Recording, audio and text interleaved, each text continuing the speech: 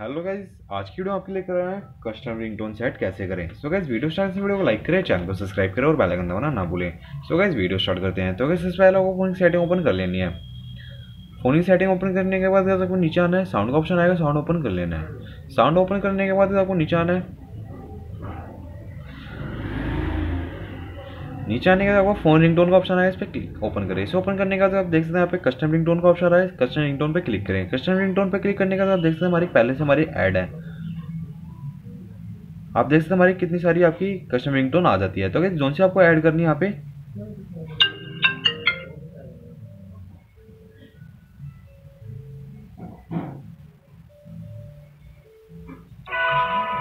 तो मैंने इस क्लिक करा।